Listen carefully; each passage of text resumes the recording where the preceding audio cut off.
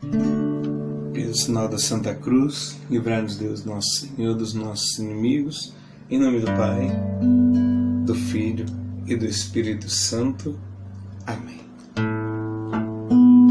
Bom dia, meu irmão, minha irmã. Que a paz de nosso Senhor Jesus Cristo e o amor da Virgem Maria esteja no meu coração, esteja no seu coração, para que possamos viver o mais profundo e o mais perfeito amor.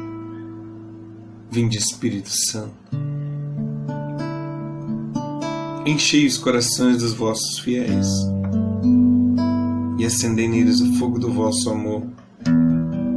Enviai o vosso Espírito e tudo será criado e renovareis a face da terra. Oremos. A Deus que instruíste os corações dos vossos fiéis, com a luz do Espírito Santo, fazei que apreciemos retamente todas as coisas, segundo o mesmo Espírito, e gozemos sempre da sua consolação. Por Cristo Senhor nosso. Amém. São Miguel Arcanjo, defendei-nos no combate, cobri-nos com vosso escudo contra os embustes e ciladas do demônio. Subjuga Deus instantemente o pedimos. Vós, príncipe da milícia celeste, pelo divino poder, precipitai no inferno Satanás e a todos os espíritos malignos que andam pelo mundo para perder as almas. Amém. Sétimo dia. Fingimento. Repugna-lhes tratar o amigo com fingimento. Se percebem que toma caminho errado ou comete qualquer falta, logo advertem. É-lhes impossível proceder de outro modo. Se não vem emenda, não recorrem a lisonjas, nem dissimulam coisa alguma. É uma situação intolerável. Assim, ou a emenda, ou o próprio amigo acaba com a amizade, porque de ambas as partes é contínua guerra. Essas almas que andam alheias ao mundo, sem encargos de cuidar se lá se serve a Deus ou não, e só de si se encarregam, tratando-se de amigos não conseguem descuidar-se, nem deixam passar coisa alguma. Enxergam até os mínimos argueiros. Asseguro-vos que carregam cruz bem pesada. Os caminhos por onde Deus leva as almas são diversos. Aprender a discernir quais as coisas que se devem sentir e compadecer. E sempre que virdes qualquer falta notável, sintam muito a ocasião de mostrar e enxergar concretamente o amor, sabendo sofrê-la, sabendo sofrê-la, sem se escandalizar.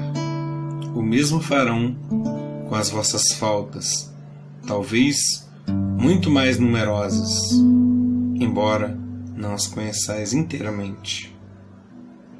Dai-nos, Senhor, a graça de conhecer verdadeiramente nossas faltas. Muitas vezes estamos cometendo graves pecados, às vezes até mesmo um pecado mortal, e desconhecemos que aquele pecado é um pecado mortal. Só de ser pecado, na verdade, já deveria nos incomodar e muito. Já deveríamos nos emendar e mudar de vida.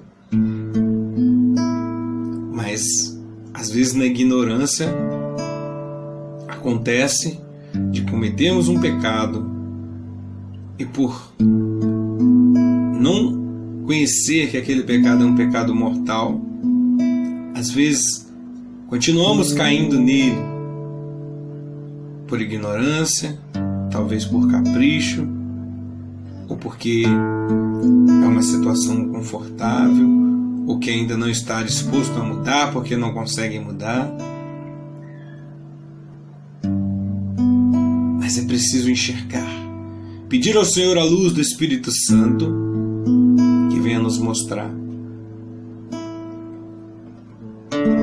se é pecados mortais em nós,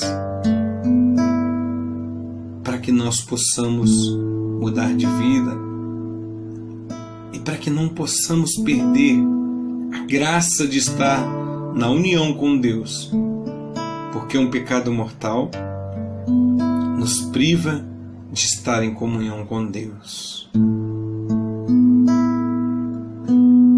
Senhor, abre os nossos olhos, faz-nos enxergar, Senhor, tua verdade, o teu amor, e que nada neste mundo nos aprisione.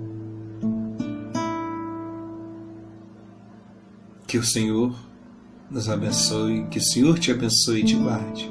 Em nome do Pai, do Filho e do Espírito Santo. Amém. Deus te abençoe.